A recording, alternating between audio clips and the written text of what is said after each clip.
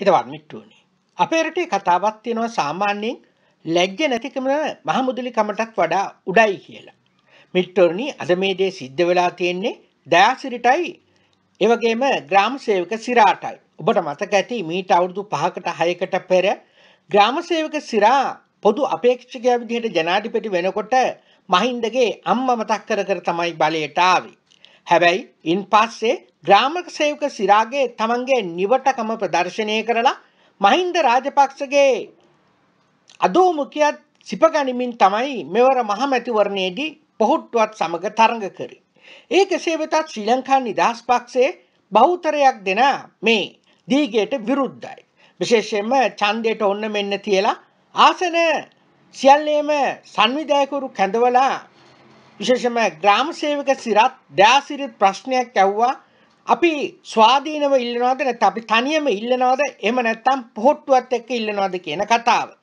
ඒ වෙලාවේ ආසන සංවිධායකවරුන්ගෙන් 90කට වඩා කිව්වේ ස්වාධීනව ඉල්ලමු එහෙම නැත්නම් වෙන්නේ පක්ෂය සම්පූර්ණයෙන්ම විනාශ වෙනවා කියන කතාව.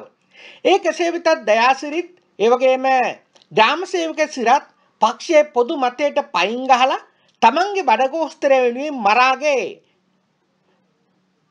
වලව්වට වදුරා දින්න ගියා. හැබැයි එහි ප්‍රතිඵලය වුණේ දයාසිරිල බලාපොරොත්තු වුණු දේ නෙමෙයි. අද වෙනකොට මරා දයාසිරිලව බලු කුක්කෙක් තරම්වත් ගණන් නොගන තත්ත්වයක් නිර්මාණය වෙලා තිබෙනවා. මේ තත්ත්වයක් සමගම ශ්‍රී ලංකා නිදහස් පක්ෂයේ ඉන්න බහුතරයක් කලකිරලා ඉන්නවා කියන එක තමයි ආරංචි මාර්ග සඳහන් කරන්නේ. තවත් පිරිසක් දයාසිරිගෙත් ඒ වගේම ග්‍රාම සේවක සිරාගෙත් බල තණ්හාව සම්බන්ධයෙන් ඉන්නේ දැඩි ලෙස කුපිත වෙලා.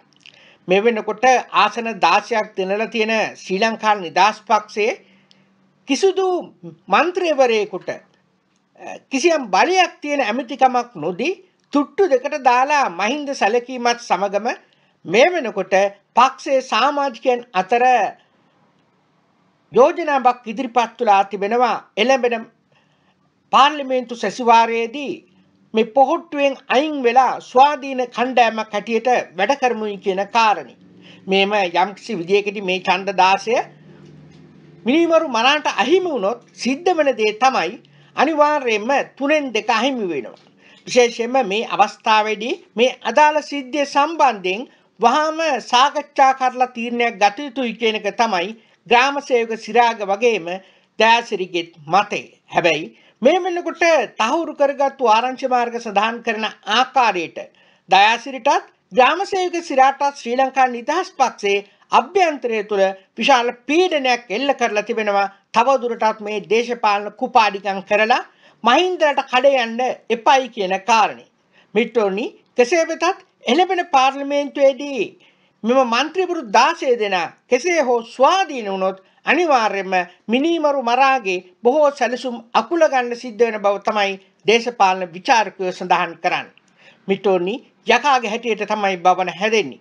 ඡන්දදායකයන්ට අනුව තමයි පාලනය නිර්මාණය වෙන්නේ. ඒ නිසා අපි සියලුම දෙනා මේ කාලකන්ණි ක්‍රමය අවසන් කරලා මේ රටට ගැලපෙන මේ රට වෙනුවෙන් වැඩපිළිවෙලක් ඉදිරිපත් කර හැකි දේශපාලන කණ්ඩායමක් සමග පෙරට යමු. මිත්‍රෝනි අග්‍රන්තු ජයග්‍රහණයක් නොමැති බව ඔබට සිහිපත් කරමින් මා ඔබෙන් සමුගන්න. ඔබ සැමට ජය